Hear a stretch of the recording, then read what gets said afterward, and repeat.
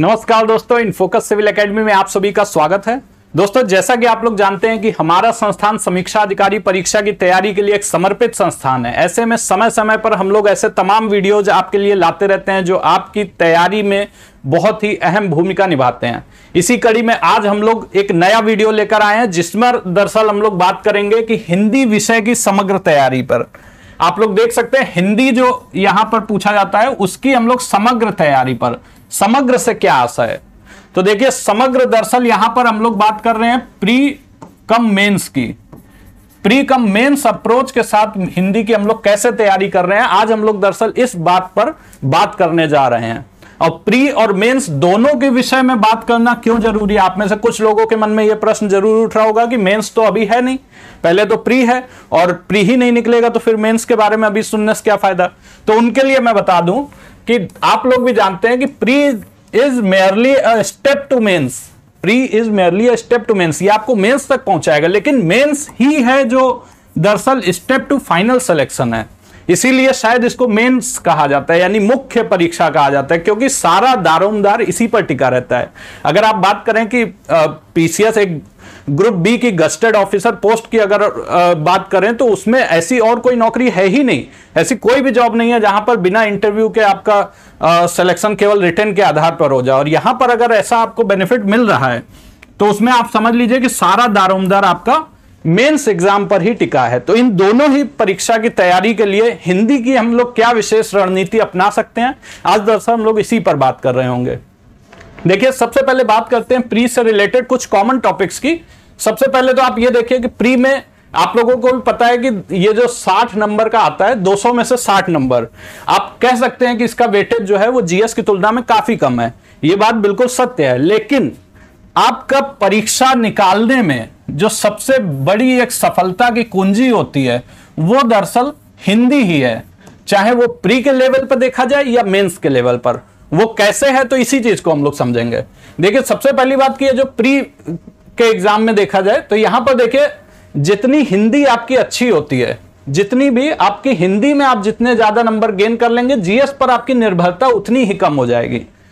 और खास बात यह है कि यहाँ पर कम पढ़कर ज़्यादा अंक लाना बहुत आसान हो जाता है। वो इसलिए क्योंकि हिंदी में आपको बहुत ज़्यादा तो एक से दो किताबें मतलब एटलीस्ट दो किताबें तो वैसे आपको करनी ही चाहिए। तो दो किताबें जो है, आप लोग अगर इसको कर लेते हैं, वो भी बहुत ज़्यादा मोटी नहीं होती हैं। और अगर उसको आप कर लेते हैं तो यहाँ पर आपको ये साठ में से आप ऑब्जेक्टिव टाइप है तो यहाँ पर आपको पचपन नंबर लाना बहुत मुश्किल नहीं हो सकता है। अगर आप इसकी पूरी तैयारी करते हैं मतलब प्रीवियस ईयर क्वेश्चंस को देखते हैं, इस पर टेस्ट सीरीज़ सॉल्व करते हैं तो फिर आपको ये यहाँ पर बहुत ज़्यादा मुश्किल, क्योंकि दरअसल यहाँ पर हिंदी में नंबर जाते कैसे हैं तो ऐसा नहीं है कि लोग उसको पहले सुने नहीं होते हैं, बल्कि कंफ्यूजन में ज़्यादातर नंबर जाते हैं। वो जब पेपर देके निकलते हैं तो सभी को लगता है कि हमारा पेपर अच्छा हुआ है। पर जब वो मिलाने बैठते हैं आंसर की से तो एक एक करके लगभग ज़्यादातर प्रश्न गलत होने लगते हैं। उसका कारण ये है कि कंफ्यूजन यहाँ पर ज़्यादा होता है, उसको टेस्ट सीरीज़ के माध्यम से दूर किया जा सकता है। ठीक है? उसके बाद देखेंगे कि हिंदी में जीएस में आपको हो सकता है कि अगर आप 10 नंबर आपको जीएस में लाना है, अपने 10 नंबर बढ़ाने के लिए हो सकता है आपको यहाँ पे एक से दो बुक पढ़ना पड़े। इतना ज़्यादा यहाँ पर आ, मतलब जीएस में हमें कॉस्ट बेनिफिट के हिसाब से देखेंगे तो ये रहता है। अब आप मान लीजिए कि अगर यहाँ पर आपका 55 नंबर आता है जो भी लोग सेलेक्ट होते हैं आप ये समझ लीजिए कि अगर उनका 55 नंबर अगर हिंदी में आया है तो जीएस में अगर वो मान लीजिए कि केवल पिछहत्तर नंबर ही ले आते हैं। पिछहत्तर नंबर भी ले आते हैं तो भी यहाँ पर इनका 130 नंबर ये हो जाता है। आप देख लीजिए। तो अगर आप 55 नंबर यहाँ पर हिंदी में ले आते हैं तो आपको जीएस में केवल पिछहत्तर ही लाने लगते हैं। लेकिन मान लीजिए कि आपकी हिंदी में नंबर कम हो गए। मान लीजिए कि यहाँ पर आपका हिंदी में चालीस ही नंबर आया। अब जीएस में आप कितना भी अच्छा कर लें, अगर मान लीजिए आप जीएस में बहुत अच्छा कर लिए, पिचासी नंबर आ गए, आपने जीएस में बहुत ध्यान दिया, पिचासी नंबर आप ले आए तो भी आपका आठ चार बारह एक नंबर ही बनेगा। आप बाउंड्री लाइन पर ही होंगे। क्योंकि इसमें कट ऑफ़ हम लोग जो सेफ़ स्कोर मानते हैं, वो 125 6 के ऊपर मानते हैं, वो सेफ़ स्कोर होता है। तो यहाँ पर आप फिर भी कट ऑफ़ तक ही पहुँचेंगे, चाहे आप जीएस कितनी भी अच्छी क्यों ना कर लें।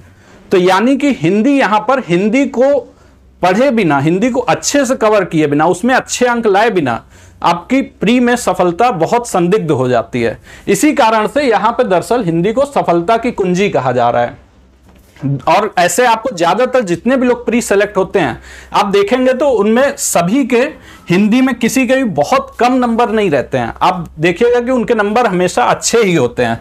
जीएस में ज़रूर ये कम ज़्यादा होते हैं लोगों के, पर हिंदी में जनरली कम नहीं मिलेंगे। दूसरी बात कि अब आते हैं मेन्स पर। तो मेन्स पर देखिए कि मेन्स में आपका 160 नंबर की हिंदी है। ठीक है 160 नंबर की यहाँ पर हिंदी हम लोग को देखने को मिलती है, जिसमें से कि 60 नंबर वही हैं जो कि इसमें है, प्री के, यानी कि इसका सिलेबस भी जो लिखा है, वो वही है जो प्री है। तो प्री जैसा ही इसका सिलेबस है, लेकिन यहाँ पर जो आपके प्रश्नों का स्तर रहता है, वो प्री की तरह नहीं रहता है। ये दरअसल प्री से थोड़ा टफ लेवल हो जाता है। और दूसरी बात कि यहाँ पर गलती करने की गुंजाइश बहुत कम हो जाती है, क्योंकि यहाँ पर एक क्वेश्चन आपका दरअसल दो मार्क्स का होता है। अब दो मार्क्स का होता है तो मतलब आप, हो सकता है किसी प्रश्न को आप सही मान के चल रहे हो कि ये हमारा सही हो गया। लेकिन जब आंसर किस मिला है तो अगर वो प्रश्न गलत हो गया तो आपके वो दो नंबर तो गए साथ में one point sorry point six six की जो आपकी नेगेटिव मार्किंग है, वो चली जाएगी। तो यानी आपका ये two point six six marks का आपको लॉस हो जाएगा। एक ही प्रश्न गलत होने पे। प्री में ये स्थिति ऐसी नहीं होती है, परंतु मेंस में इतना ज़्यादा नंबर का नुकसान हो जाता है अगर आपका एक ही गलत हो गया। तो यानी कि यहाँ पर आपको और भी ज़्यादा ज़रूरत है ये जो प्रीवियस ईयर पेपर्स हैं उनको देखने की और साथ ही साथ टेस्ट सीरीज़ सॉल्व करने की। उससे आपका ये जो गलतियाँ हैं वो कम होंगी। दूसरी बात कि इसको जो है प्री के ही साथ तैयार करना वो सबसे अच्छी रणनीति होती है। क्योंकि बाकी जो सब्जेक्ट्स हैं, अभी हम लोग आगे बात करने जा रहे हैं। मेंस के भी देखिए, तमाम चीज़ों पर हम लोग बात करेंगे और बाकायदा इसको डिटेल में समझेंगे। लेकिन आप ये समझिए कि जो प्री वाला जो सब्जेक्ट है, अब इसमें देखिए कि मेंस जो प्री के ही साथ इसको तैयार कर लेना, वो सबसे अच्छी रणनीति होती है, चाहे वो जीएस हो और चाहे हिंदी हो, क्योंकि बाकी जो सब्जेक्ट्स हैं, वो दरअसल उसको तैयार करने का समय अपने आप में वो दो से तीन महीना उसमें टाइम लगता है, जो कि आपको प्री के बाद उतना समय देना ज़रूरी रहता है। उस समय में आपको जीएस और हिंदी केवल आप रिवाइज ही कर सकते हैं, उसको पूरा आप चाहें कि एक तरह से, एक तरफ़ से पढ़ लें, बहुत अच्छे से। अभी किसी एक ही दो बुक से काम चला के, आगे चल के हम लोग उसमें तीन चार बुक्स का मटेरियल इकट्ठा कर लेंगे तो ऐसा कतई संभव नहीं है। ऐसे में आपको, और दूसरी बात देखिए कि इसमें जो एटलीस्ट फ्रॉम टू बुक्स ये आपको कम से कम दो बुक्स से करना बहुत ज़रूरी है। वो क्यों ज़रूरी है? तो देखिए यहाँ पर आपको जो 60 नंबर मिल रहे हैं, उसमें आप आप कई लोग होते हैं जो कि एक ही बुक से पढ़ के चले जाते हैं, उनके अच्छे नंबर आ जाते हैं। लेकिन वो प्री में तो ठीक है, अपना वो मेंस निकाल लेते हैं, परंतु मेंस में आके वो धराशायी हो जाते हैं, क्योंकि यहाँ पे लेवल ऑफ़ क्वेश्चंस भी टफ होता है। उसके बाद एक क्वेश्चन कैरीज टू मार्क्स तो यहाँ पर वैसे भी थोड़ा मुश्किल हो जाता है, यहाँ पर आप रिस्क नहीं ले सकते हैं। तो यहाँ पर आपको ज़रूरी है कि आप कम से कम तो दो बुक्स करके ही जाए, और उससे ज़्यादा हो जाए तो ज़्यादा बेहतर। अब उसमें एक स्टैंडर्ड बुक्स हो सकती है। स्टैंडर्ड बुक आपको, आप लोगों को भी पता है कौन कौन सी होती है। हरदेव बारी हो या फिर एस कुमार सर की हो या फिर पी एन पांडे जी की हो। ऐसे करके तमाम रहती हैं। उनमें कौन सी मेरे लिहाज से बेटर है? ये हमने एक अलग से वीडियो बनाया हुआ है। उसमें आप लोग इसको देख सकते हैं। हमारे प्लेलिस्ट में वो ऑलरेडी मौजूद है। हिंदी की ऑब्जेक्टिव तैयारी कैसे करें? ऑब्जेक्टिव हिंदी की तैयारी। और किस बुक से करें? सबका ऑनेस्ट रिव्यू भी दिया हुआ है। उसके साथ ही एक previous year paper previous year paper का मतलब घटना चक्र और आदित्य प्रकाशन। इन दोनों में से कोई भी एक बुक आप ले सकते हैं। तो देखिए, यहाँ पर ये दो बुक जो है, वो आप लोग, इससे आपका तैयार होगा दरअसल, जो 60 नंबर वाली हिंदी है वो। लेकिन उसके बाद जो हमारा महत्वपूर्ण रोल आ जाता है, वो आता है दरअसल सब्जेक्टिव पेपर में। जो सब्जेक्टिव पेपर है उसमें देखिए, ये दरअसल आता है सौ नंबर का। आप लोगों को भी पता है, सौ नंबर का आता है hundred out of four hundred तो 400 में से 100 नंबर सब्जेक्टिव पेपर का रहता है, उसमें आता क्या क्या है? तो देखिए, एक तो गद्यांश आता है। गद्यांश आता है, दूसरा देखिए, सारणियन आता है टेबुलेशन बोलते हैं इसको। ये गद्यांश आपका इजी होता है, आपको इसके साथ साथ कई और पेपर्स में भी देखने को मिल जाता है। सारणियन जो है, ये बहुत इजी होता है। ये तो पता नहीं क्यों इतने नंबर का, यहाँ पे पंद्रह नंबर का आपको ये सारणियन देखने को मिलता है और 21 नंबर का गद्यांश मिलता है। तो ये दोनों ही पर्सन काफ़ी इजी हो जाते हैं। और इसके लिए थोड़ी बहुत प्रैक्टिस ज़रूर रिक्वायर्ड रहती है, लेकिन वो बहुत ज़्यादा नहीं है। पत्र लेखन यहाँ पे दरअसल हार्ड हो जाता है। तो पत्र लेखन थोड़ा कठिन है। उसके बाद हम लोग अभी डिस्कस करेंगे कि इसमें कैसे इसको प्रिपेयर करना चाहिए। बाकी कंप्यूटर देखें तो कंप्यूटर आप मीडियम लेवल पर समझ लीजिए, लेकिन प्रशासनिक शब्दावली और मुहावरे, ये दोनों हार्ड होते हैं अगेन यहाँ पर। प्रशासनिक शब्दावली सभी को पता है, काफ़ी कठिन होती है, परंतु जो मुहावरे वाला पोर्शन है, मुहावरे भी यहाँ पर कठिन हो जाता है, क्योंकि अभी तक जो आप लोग करते आ रहे थे कि भारत ने पाकिस्तान के दांत खट्टे कर दिए, उस तरह के आप लोगों को वाक्य प्रयोग यहाँ पर नहीं करने होते हैं। दूसरी बात की जो अर्थ भी लिखना होता है, वो भी दरअसल एकदम एग्जैक्ट अर्थ लिखना रहता है। मान लीजिए कि आपका आ, कोई ऐसा आ गया कि फॉर एग्ज़ाम्पल उल्टे छुरे से मुड़ना आ गया उल्टे छुरे से मुड़ना। अब इसका मतलब आप अगर ये लिख के आए कि नहीं इसका मतलब होता है ठगना किसी को ठग लेना। वो आपका उत्तर गलत होगा। दरअसल इसका मतलब होता है जो एक्चुअल मीनिंग होता है वो होता है मूर्ख बनाकर ठगना। तो आपको ये लिखना है कि किसी को पहले मूर्ख बनाया उल्टे छुरे से मुड़ा जा रहा है। तो मूर्ख बना के मुड़ा जा रहा है मतलब ठगा जा रहा है। तो वहाँ पे एकदम एग्जैक्ट अर्थ लिखना होता है साथ ही बहुत स्तरीय जो है वो वाक्य प्रयोग करना रहता है। तो ऐसे में ये दोनों ही चीज़ आपकी टफ हो जाती हैं। ठीक है? अब उसके बाद देखेंगे कि ये जो, ये वाला चार पोर्शन है कंप्यूटर पत्रलेखन, सारणियन और गद्यांश। इसमें देखिए, दरअसल ये आपको दिख ज़रूर रहा है, इसका वेटेज भी अच्छा खासा है। लगभग सत्तर नंबर के करीब ये आता है। लेकिन सत्तर नंबर में भी आप देखिए तो इसकी जो पढ़ाई की एक कॉन्सेप्चुअल क्लासेज हैं, वो बहुत कम होती है। इसमें आपको बहुत ज़्यादा आपको समय देने की आवश्यकता नहीं है। जैसे कई लोग, आप देखेंगे कई प्लेटफॉर्म्स में ये अभी से ही चल रहा है कि आरओ की तैयारी के लिए पत्र लेखन बहुत ज़रूरी है, इसलिए वो अभी पढ़ा रहे हैं। ठीक है, अपना उनका स्ट्रेटजी है, वो व्यूज़ के हिसाब से ऐसा कर रहे हैं, पर मेरा ये मानना है कि अभी आपको इसमें ध्यान देने की आवश्यकता नहीं है। वो क्यों नहीं है? क्योंकि अभी जो है, दरअसल ये इसमें आप सोचिए कि पत्र लेखन है अब जिनको नहीं आइडिया, उनको मैं थोड़ा सा एक रफ आइडिया दे दूँ कि पत्र लेखन मतलब सरकारी, मान लीजिए आपको पत्र लिखना है। अब उसमें क्या है कि आपकी दिनांक इधर पे आएगी, दिनांक इधर आएगी और सेवा में इधर होगा, प्रेषक का पता इधर होगा, ये इधर होगा, वो इधर होगा, ये सब आपको याद करना पड़ता है। ये सब जब आप प्रैक्टिस करेंगे, तब आपको ये चीज़ें याद हो जाएँगी। लेकिन क्या है कि इसमें आप लोगों को ये सब चीज़ें याद करनी है। मान लीजिए आप इसको अभी से सीख भी लिए तो या तो आप इसकी रेगुलर प्रैक्टिस करते रहें और नहीं अगर प्रैक्टिस कर रहे हैं तो फिर आप आज से 10 महीने बाद 11 महीने बाद जब मेंस एग्ज़ाम होगा, तब दरअसल आप लोगों को यह चीज़ नहीं याद रहेगी। तो ये तय है। तो इसलिए आपके लिए ज़रूरी है कि आप इसको उसी समय में पढ़िए। अगर अभी आप इसको पढ़ रहे हैं, ठीक है, अगर आप, हम कह रहे हैं कि रेगुलर प्रैक्टिस भी कर रहे हैं तो उससे फिर वही होगा ना कि आप इसको कहीं ना कहीं प्री की तैयारी की कीमत पर इसको पढ़ेंगे। तो यानी कि कहीं ना कहीं प्री की तैयारी आपकी अफेक्ट होगी ही होगी। तो ऐसे में देखिए, ये कॉन्सेप्चुअल क्लासेस इसकी बहुत कम होती है, बहुत ज़्यादा इसमें टाइम नहीं, मुश्किल से ये पंद्रह क्लासेस का मटेरियल है। ठीक है, पत्र लेखन वगैरह और लगभग तीन से चार क्लासेस आपकी गद्यांश में लगती हैं, एक क्लासेस आपकी सारणियन में लगती हैं। तो इस तरीके से आप देखेंगे तो इसकी कॉन्सेप्चुअल क्लासेस बहुत कम है, साथ ही साथ इसमें प्रैक्टिस करना बहुत ज़रूरी होता है। और ज़्यादा रटने से ही इसमें कंफ्यूजन होती है कि दिनांक किधर लिखें सेवा में किसको लिखें कहाँ पे भवदीय लिखना है, कहाँ पे भविनिष्ठ लिखना है, ये सब चीज़ें थोड़ी सी कंफ्यूजिंग होती है। तो उसको क्यों ना हम लोग एग्ज़ाम के पास ही में पढ़ें? इसके लिए मेरी जो अप्रोच है, जो मैं आपको समझाना चाह रहा हूँ, वो ये है कि जब आप प्री का एग्ज़ाम दे लें, और प्री का एग्ज़ाम देने के बाद आप में से ज़्यादातर लोगों को ये समझ में आ जाता है कि वो कट ऑफ़ के कितने नज़दीक हैं या कट ऑफ़ के आसपास हैं। अगर वो हैं तो वो तुरंत ही इसकी क्लासेस कर लें और इसकी तैयारी तुरंत शुरू करके जैसे ही प्री का रिज़ल्ट घोषित हो जाता है, उसके पहले पहले उनकी ये सारी क्लासेस खत्म हो जाएँगी और मतलब ये इसको ये लिखना आ जाएगा, उसके बाद केवल प्रैक्टिस ही करनी रहेगी। जैसे हम लोग अपना जो हिंदी वाला बैच अभी शुरू कर रहे हैं, उसमें हमने इसी रणनीति को इसी रणनीति को ही हमने फॉलो किया है। वो क्यों किया है? क्योंकि आपका इसमें इतना भी टाइम ना वेस्ट हो कि आपकी प्री की तैयारी अफेक्ट हो जाए। ऐसी भी मेंस की तैयारी क्या जिससे आपका प्री ही ना निकले? तो ये चीज़ आपको ध्यान देनी है। तो इसलिए हमारा जो हिंदी का बैच आ रहा है, उसमें दरअसल प्री और मेंस की जो ऑब्जेक्टिव वाली तैयारी है ऑब्जेक्टिव वाला जो पोर्शन है, उसको तो हम लोग पूरा अभी करेंगे। लेकिन जो सब्जेक्टिव वाला है स्पेशली ये चार चीज़ें, ये चार चीज़ें दरअसल हम लोग इस प्री एग्ज़ाम के और प्री रिज़ल्ट के बीच में इन सभी को कवर करके उसके बाद बस केवल इसकी प्रैक्टिस करेंगे ज़्यादा से ज़्यादा लिखना करेंगे। तो ऐसे करके हम लोग आ, मतलब अपना एक प्लानिंग कर रहे हैं और हमारा ये सजेशन रहेगा कि आप भले ही बैच हमारा ना लें लेकिन आप अगर करें तो ये राइट टाइम नहीं है। आप लोग पत्र लेखन इत्यादि पर फंसे। आप लोग इसको करें तो जब आपका प्री एग्ज़ाम हो जाए, उसके बाद आप पत्र लेखन और गद्यांश इन सब की प्रैक्टिस करें। कई लोगों को एक शौक भी होता है कि हम तो मेंस की तैयारी करेंगे। भले ही प्री में उनका कुछ अभी तय नहीं है। ऐसी गलती मत करें।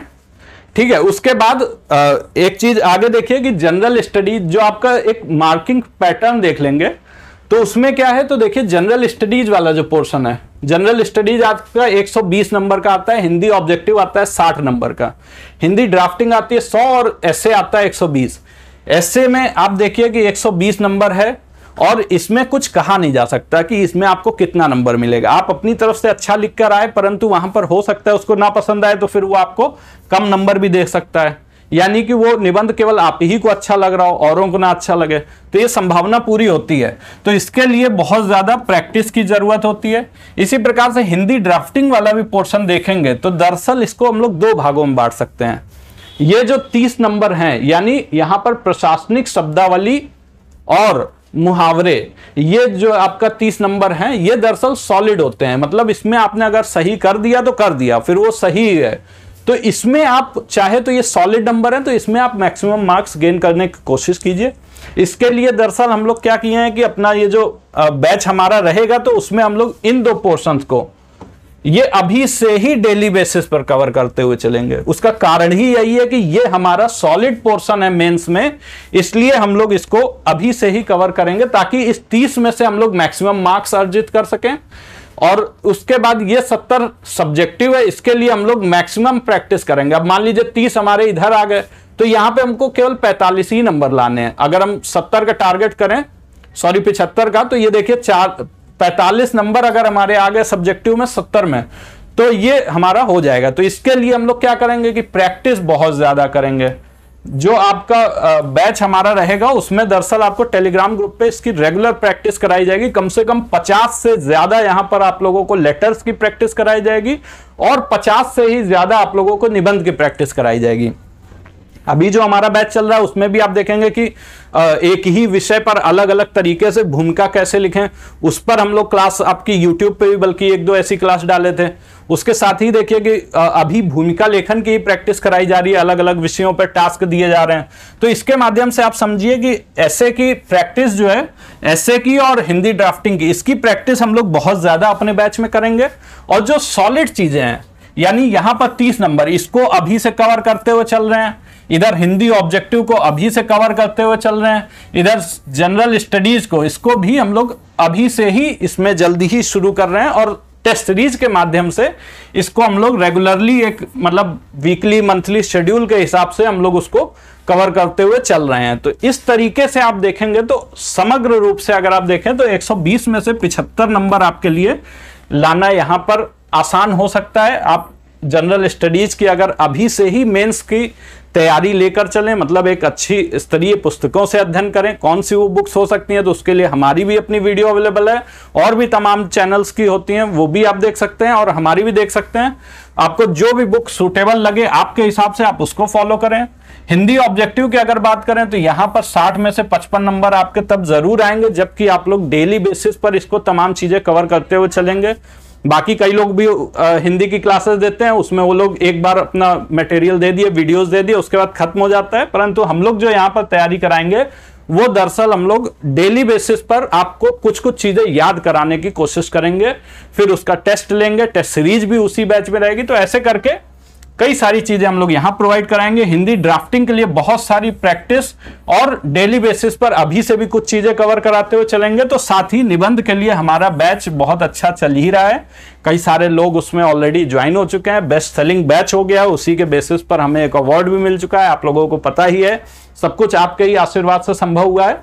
और आज जो मैंने आपको ये स्ट्रेटजी बताई है मेरा उम्मीद है आपसे, मेरा ये आग्रह है कि आप भले ही हमारा कोर्स लें या ना लें, आप जैसे भी प्रैक्टिस करें, अगर आप सेल्फ स्टडी भी करना चाहते हैं तो भी आप यही स्ट्रेटजी फॉलो कीजिए और जो बुक्स हमने बताई हैं, वो भी आप देख सकते हैं। आप उनको देखिए, अगर आपको पसंद आती हैं वो तो उसको आप लीजिए। नहीं पसंद आती, आप कोई और बुक्स कर रहे हैं तो उससे कीजिए। कोई ज़रूरी नहीं है कि हम कोई नई बुक्स का ही चयन करें।